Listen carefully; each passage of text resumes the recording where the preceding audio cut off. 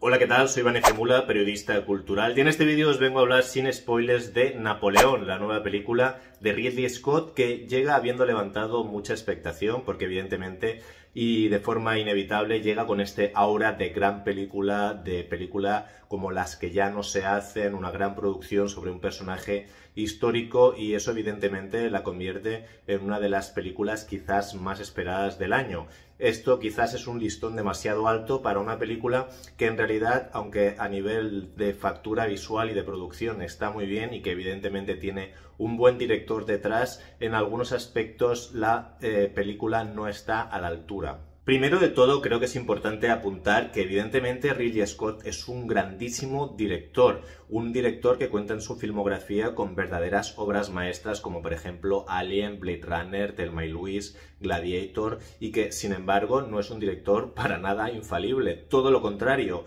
más allá de mantener un listón siempre bastante alto, nos ha traído películas eh, verdaderamente malas o fallidas que contrastan mucho con estas películas tan buenas, icónicas y obras maestras de la historia del cine. Esto quiere decir que a la práctica, cuando se estrena una película de Ridley Scott, más allá de toda la parafernalia promocional que tenga detrás, uno no sabe nunca si se va a encontrar una buena película o una mala, puesto que lo mismo te puede traer El último duelo, que es una película magnífica, como por ejemplo eh, La Casa Gucci, que era un auténtico cuadro. Así que yo fui con hype a la película, aunque también con esa cierta prudencia de lo que se puede esperar de un director que a la práctica ha sido casi siempre bastante irregular. Napoleón es una película de 2 horas 45 pagada por Apple, es decir, que no ha escatimado en gastos, hay mucho dinero puesto en la película, incluso que al parecer era una película mucho más extensa, tendrá un metraje de 4 horas cuando llegue a la plataforma.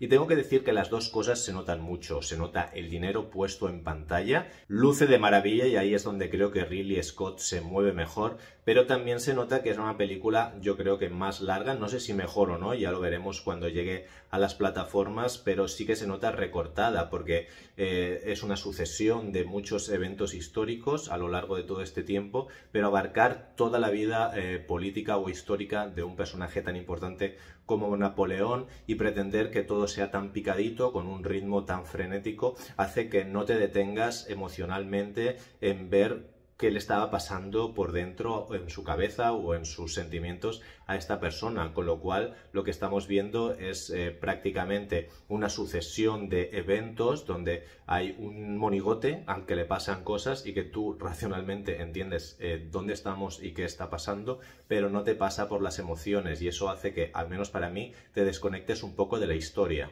A mí me ha parecido interesante, tan interesante como creo que es la propia figura histórica de alguien como Napoleón. Sin embargo, creo que el acercamiento, la exploración psicológica del personaje es muy superficial y está muy lejos de tener un resultado notable. Más allá de eso, parece incluso que hay una pretensión de caricaturizar o de ridiculizar eh, esta grandiosidad de Napoleón y eso sí que me parece lo más fallido de la película, porque al final tratando de querer ser como gracioso o ridículo para contrastar con toda la épica de todas las batallas y todo lo que vemos por otro lado, hace que al final sea la película la que parezca ridícula y no tanto el personaje histórico. Da la sensación como que Ridley Scott se esfuerza un poco a querer hacer algo más histriónico como hacía por ejemplo Yorgos Lantimos en La Favorita, pero me parece también que no es esa película. Y acaban siendo parece dos películas distintas, una bien dirigida y otra que no, donde sí de verdad eh, la película eh, se ve grandiosa es en las batallas,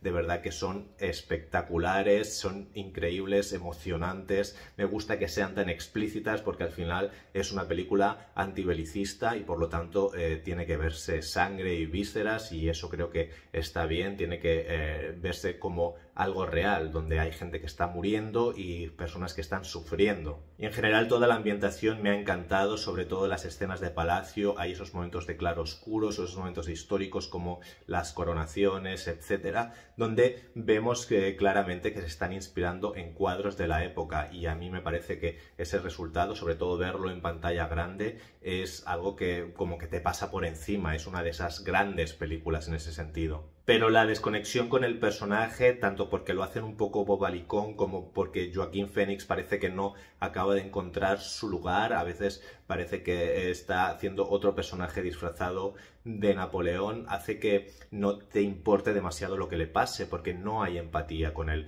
no estás puesto en su lugar, eh, no reconoces qué le está pasando por dentro, con lo cual te da igual si tiene hijos o no tiene hijos, si está enamorado o se separa, si gana o pierde, si vive o muere, o si está en el exilio, que literalmente esas partes duran tan poco tiempo que no te da tiempo ni a ver eh, cómo este hombre está sufriendo esa nueva situación porque directamente ya estás pasando a otra. Y cuanto a la falta de rigor histórico, como por ejemplo si Napoleón estaba o no cuando le cortaron la cabeza a María Antonieta o si verdaderamente dispararon contra las pirámides, yo creo que muy claramente esta película se está posicionando en conseguir un espectáculo visual y narrativo eh, que enganche al espectador y no tanto eh, buscar el rigor histórico. Así que si tú le compras eso, no me parece verdaderamente un problema, simplemente tienes que ser consciente de que aquí va a haber muchas licencias y a mí en ese sentido no me molesta.